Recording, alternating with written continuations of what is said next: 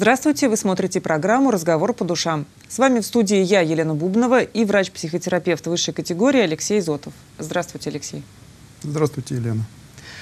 Напоминаю нашим телезрителям, у нас прямой эфир. Телефон в студии 202 11 22. Звоните, мы готовы выслушать вашу историю, ответить на ваши вопросы.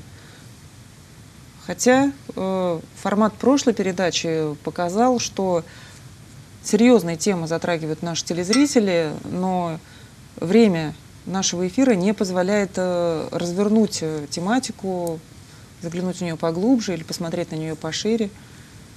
Угу. Например, про утрату в прошлый раз э, только начали говорить, но у нас следующий звонок. Ну, я задумался над вашим словом «серьезные».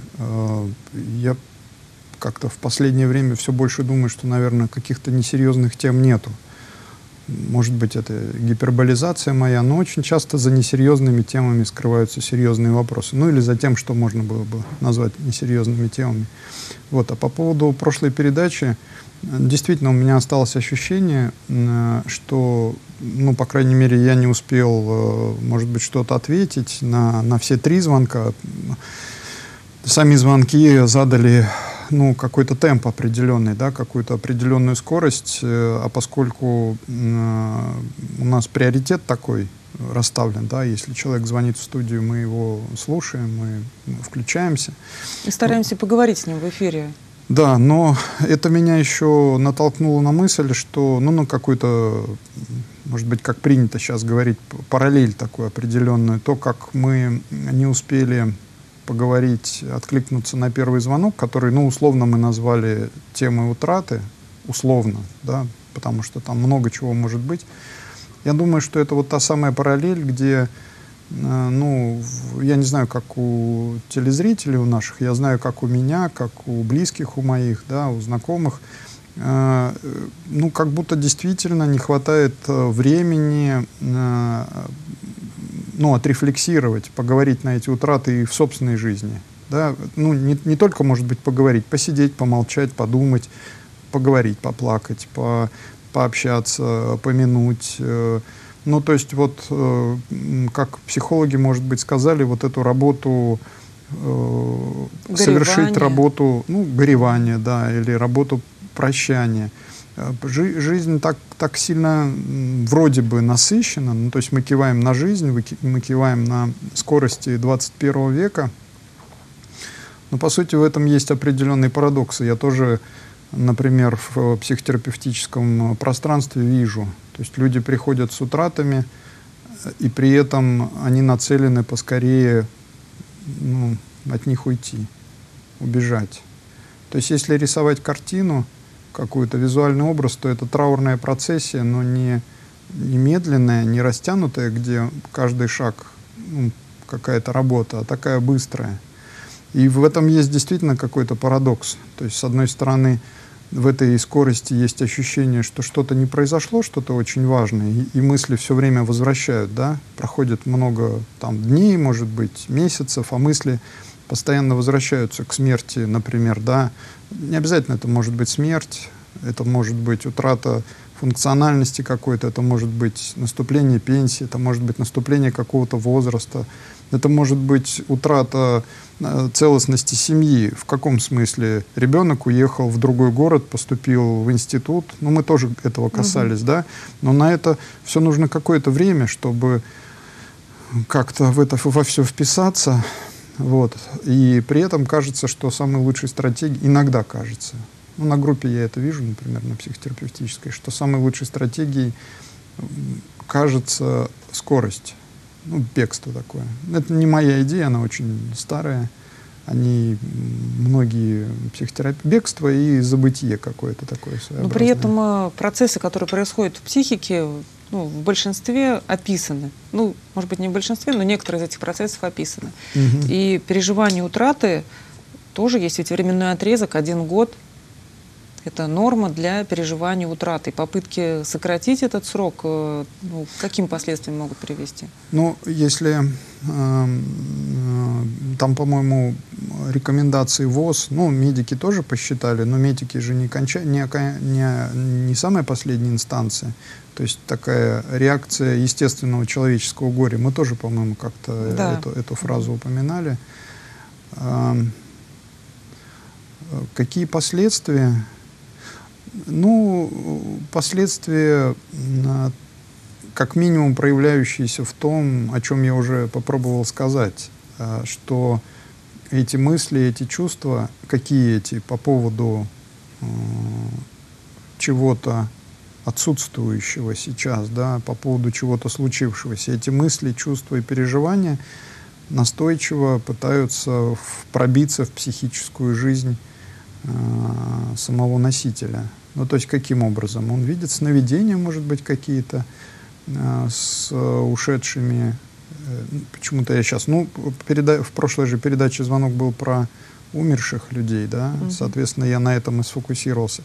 То есть люди ощущают тревогу, люди ощущают беспокойство, чувствуют, э, люди, э, загляд, заглядывая в, свою, в свой ум, э, наблюдают там присутствие тревожащих их мыслей, ну и так далее. Вот какие-то такие последствия. Наверное, это все выводит человека из э, того равновесия, которое он хочет сохранить, добыть, по крайней мере. Угу. Напоминаю, вновь у нас прямой эфир, телефон в студии 202 11 22. Звоните, мы открыты для диалога. Да прошлой передаче у нас э, был еще один звонок, э, когда женщина задавала вопрос, что делать, если родственница начинает вести себя ну, непонятным образом, да, у нее угу. какие-то подозрения, ну, неадекватно, да, можно таким словом сказать. Что-то есть добавить к этой истории? Ну, особенно нет, кроме того, что, по-моему, я получил такой, ну, скажем так, опосредованный отклик э, в том виде, что меня люди начали спрашивать, действительно ли э, можно обратиться в диспансер, как там налажена служба, кто за что отвечает, ну какой-то такой интерес, э, по крайней мере, к этой части медицинской ну, помощи, организованной государственной медицинской помощи, он появился ну или вернулся. Вот. Э, как там все организовано? Конечно, люди, когда туда приходят, они начинают э, ну, для себя уже точно узнавать, да, что нужно сделать, какие шаги.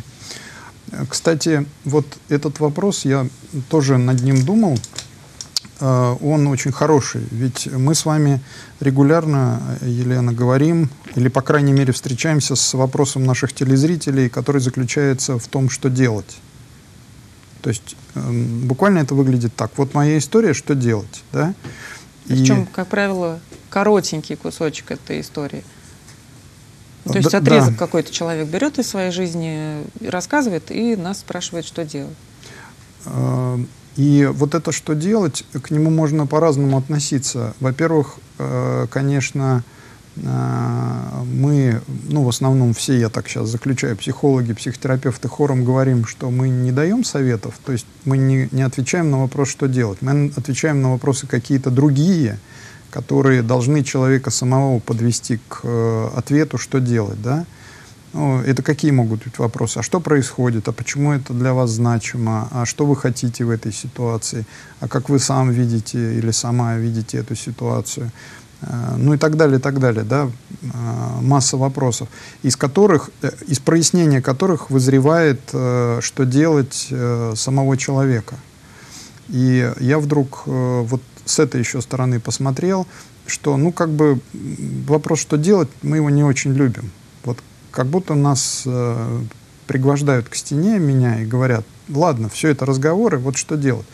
Но я думаю, что это очень хороший вопрос, что делать, потому что в итоге все эти ситуации, которые мы описываем, они требуют действий. Они каких-то определенных действий требуют, а не всегда физических, ну, пойти, взять. Они требуют еще каких-то э, душевных действий. Ну, э, опять же, в психологической среде принято говорить символических действий. То есть э, в, этом, в этой степени, ну, чисто дидактически, да, из того, чтобы нам легче было разобраться, мы можем ведь деятельность разделить на две а, части. А, буквально встать и пойти, например, ну, действие с помощью тела, да, угу. пойти в диспансер, написать э, там просьбу об осмотре родственницы. Но еще и речь идет о том, как, э, что делать во внутреннем пространстве, да, то есть и как эту деятельность организовать ну, внутри. То есть, и тогда человек, что мне делать, чтобы не переживать? Вот, вот такого рода вопросы, да, что мне делать, чтобы забыть? Ну, понятно, что здесь речь идет не о действиях тела. Ну, ведь никто не говорит, нет, ну, некоторые говорят, что делать, чтобы забыть? Ну, иди выпей там чего-нибудь, вина, да, или таблетки. Или езжай куда-нибудь на край света, ну, да, и ты каким-нибудь другим да. делом. Вот, переключи но, внимание. Переключи внимание. Но здесь, в принципе, это разговор о том, э, что делать вот в моем внутреннем пространстве. Мы приходим к вопросу о том, а как вообще оно организовано, это внутреннее пространство, и какие действия там вообще в принципе возможны. Вот. И, конечно, часть вопроса... Вот. И этот вопрос, он очень важный, очень хороший, потому что вот это вопрос о действиях. И мы тут говорим, как, как эта деятельность внутри может быть организована. Что значит не переживать? Да? Что значит принять? Вот сейчас модная такая вещь. Но я ухожу, я думаю, может быть, кто-то там э, уже взял трубку и надеется, ну, ждет, чтобы позвонить, когда я свой спич закончу, да, и, может быть, сейчас самое удобное, удобное время. Да, нам можно звонить в студию с любыми вопросами, темами, которые касаются переживаний, чувств, отношений, возможно или вопросы, которые вы сами, э, ну, вам самим кажется, вы можете задать э, врачу-психотерапевту. Да, все верно. И э, мне кажется, что мы немножко из оправданно из халата выбираемся. Ну, есть такое понятие. Врач-психотерапевт это халат. То есть, по большому счету, я мог бы сидеть здесь в белом халате и отвечать только вопросы, на те вопросы, которые медицинским языком занят, заданы. Ну, например, у меня болит, у меня беспокоит, меня тревожит и так далее. И если бы я был любым другим медиком, я сейчас без э, ну, обид к коллегам говорю, да, то, возможно, это так и было. Э, э, для того, чтобы быть, ну, по большому счету, счету сейчас каким-то терапевтом, условным терапевтом, да, по сути, халат не надо снимать. Когда мы говорим о, психологии и психотерапии, то а,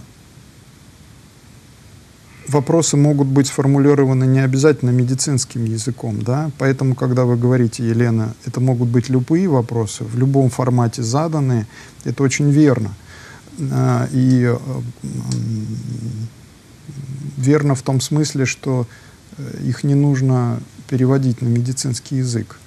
В этом смысле, конечно, я и как врач здесь, но и ну, как психолог, если хотите, да.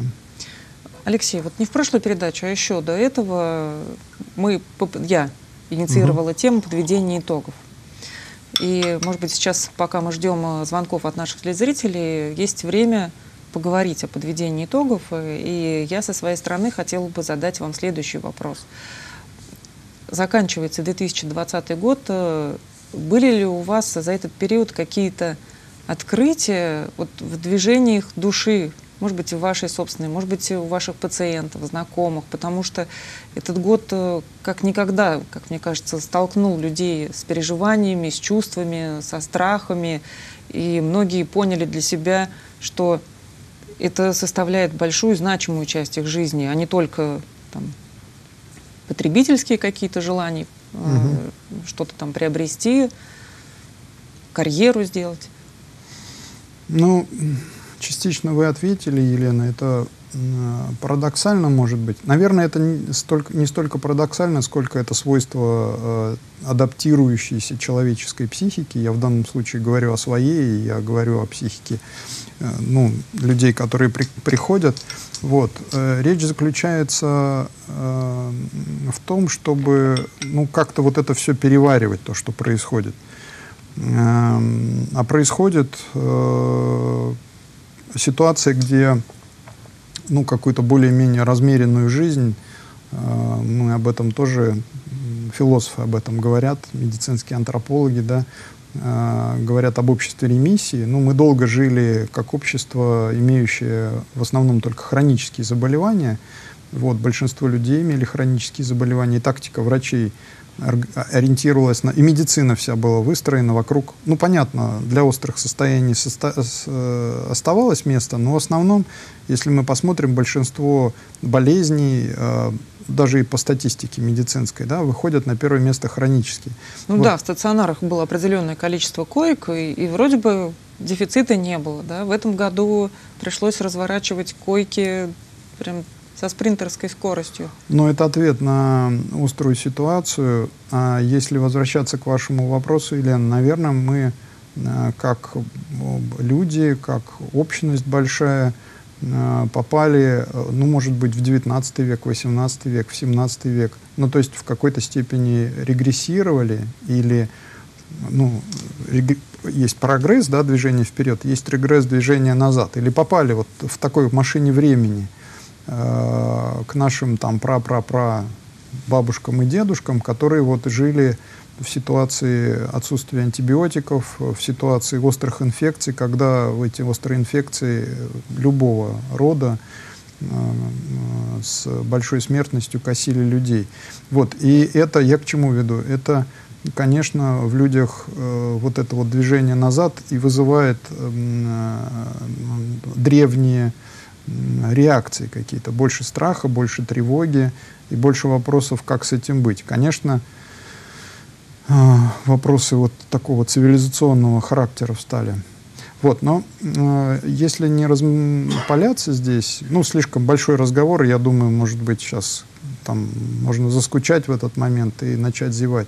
Что интересного для меня, я все больше и больше для себя но, опять же, изначально, будучи врачом, будучи подготовленным специалистом как врач, что это значит? Э, глядящим на человека с э, то, такой телесной позиции, с позиции естественно-научной, где давление можно померить, температуру померить, анализ крови сделать, где вот это все в принципе обсчитываемо и должно по-хорошему возвращаться к своему ну, балансу, да, если мы говорим о лечении я все больше вижу, и моя деятельность с этим связана, насколько мы определены вот этим, ну, в широком смысле, а, культурным а, компонентом. Это даже не компонент, а, а среда.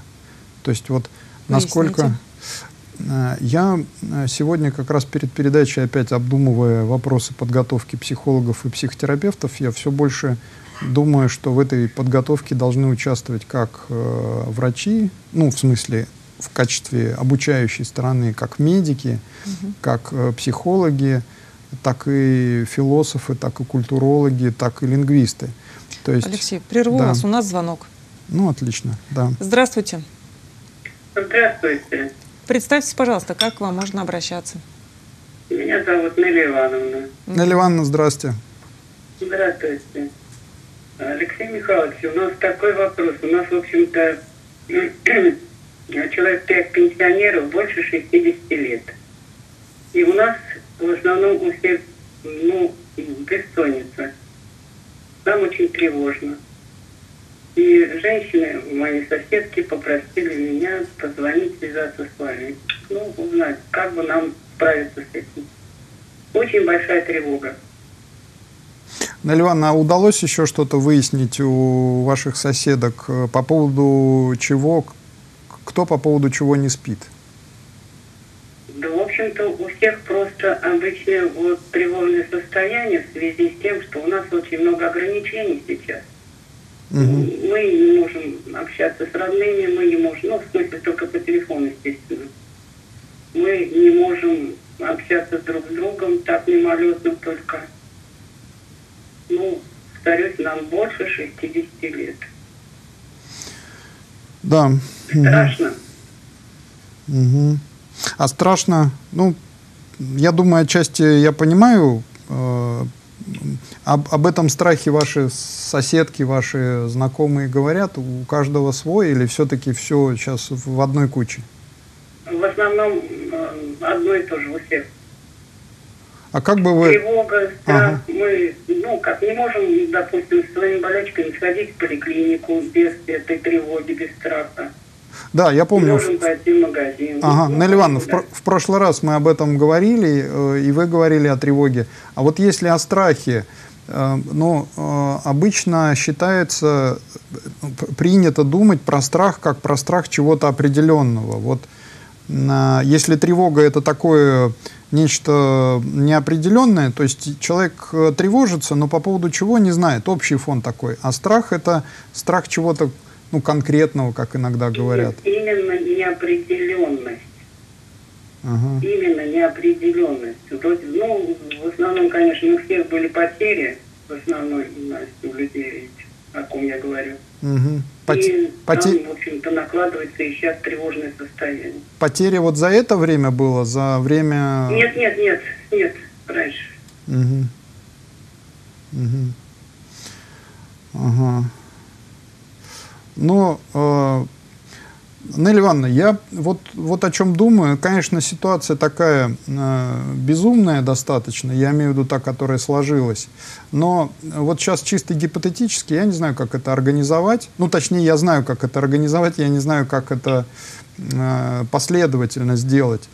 Э, Это может быть группа э, посредством вот э, такого дистанционного общения, э, группа, э, где людям э, пожилым, ну, единственное, что потребуется, чтобы их близкие или еще кто-то наладили, социальные работники, кто угодно, наладили э, в их домах э, ноутбуки, компьютеры с камерами и микрофонами, чтобы... э, Планшет, может быть, чтобы ну, телефоны, Не да, у нас сейчас, да. большую оргтехнику. Да, э, чтобы это все можно было объединить, например, в одну группу и об этом разговаривать.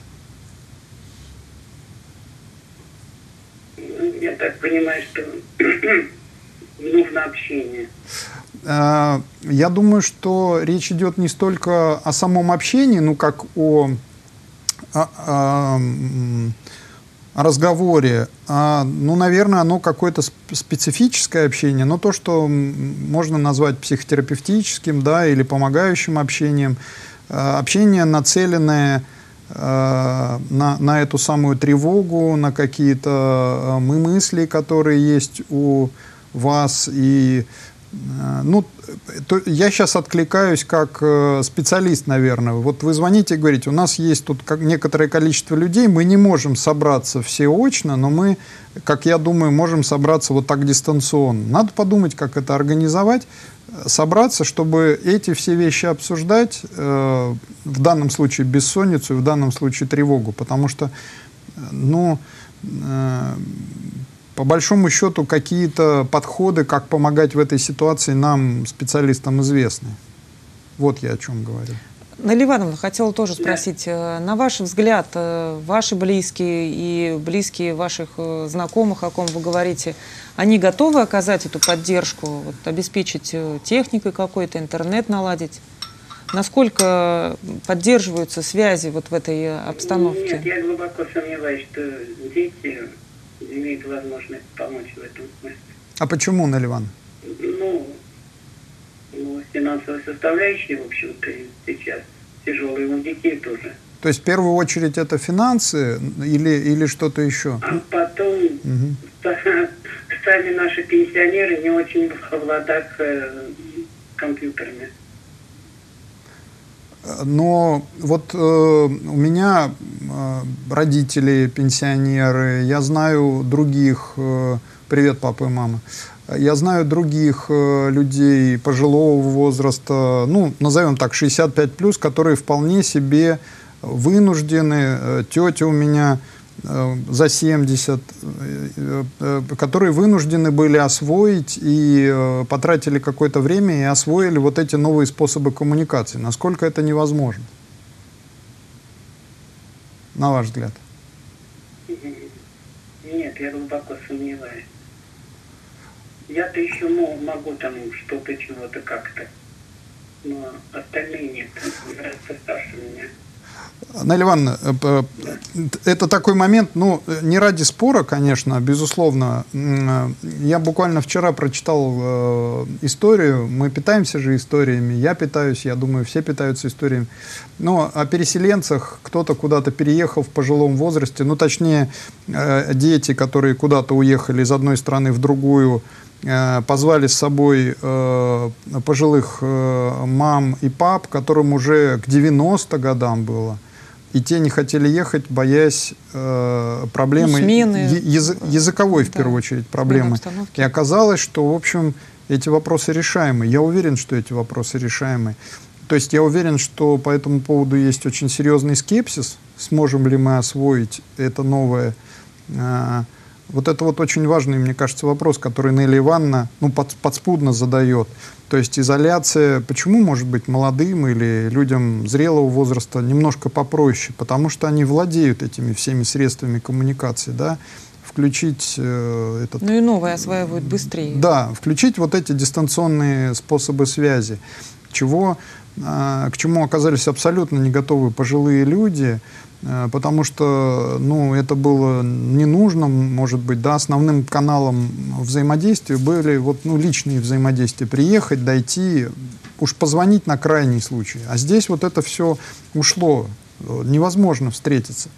И я думаю, что это, Нелли Ивановна, ну, какой-то вопрос выживания, может быть, э, действительно, в буквальном смысле, не метафорически, а необходимость вот, начать осваивать я, я думаю, что я не э, идеалистичные какие-то вещи озвучиваю, а действительно это нужно начать делать. Да, Нелли Ивановна, а вот разговаривали вы со своими знакомыми как раз о том, что вот про страх э, Алексей говорил, страх э, от необходимости осваивать что-то новое, что придется в этой э, текущей ситуации, которая неизвестно, когда закончится, что-то внутри себя перебороть, сопротивление или, может быть, тот же страх, э, и вот начать осваивать технику или ну, искать э, те организации, которые могут помочь э, с налаживанием этой техники и обучением, чтобы пользоваться ну, онлайн-ресурсами. Знаете, наши пенсионеры, с кем я общаюсь, они очень решительные такие женщины, очень стойкие. Угу. Но, как бы вам объяснить, ну, тут если мало двигающиеся, с больными ногами, которые могут только выйти из квартиры, из подъезда, вот где мы собираемся пообщаться там часов вечером, когда уже люди с работы пришли осенью, и как-то подышать свежим воздухом. Сложно им сейчас, в общем-то, но, в общем-то, знаете, мое мнение в том, что больше, скорее всего, больше передач таких позитивных нужно.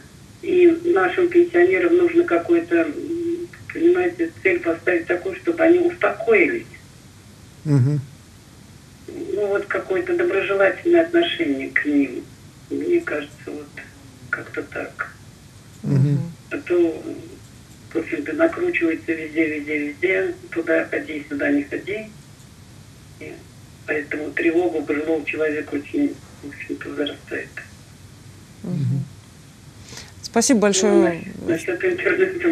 Ну, Ивановна, э, у нас немного времени, насколько я слышу. Давайте мы, может быть, этот разговор не закончим, а поставим запятую, перенесем. И еще раз я прошу вас, ну, может быть, в какой-то следующий раз позвоните. Мы будем думать, что с этим делать дальше. И мы все будем одновременно слушать, что происходит. И мы, может быть, поищем информацию, как э, Сейчас организации гранты выигрывают на поддержку пожилых людей, да, может быть, где-то и обеспечивают техникой заинтересованных. Э, постараемся какую-то информационную поддержку оказать.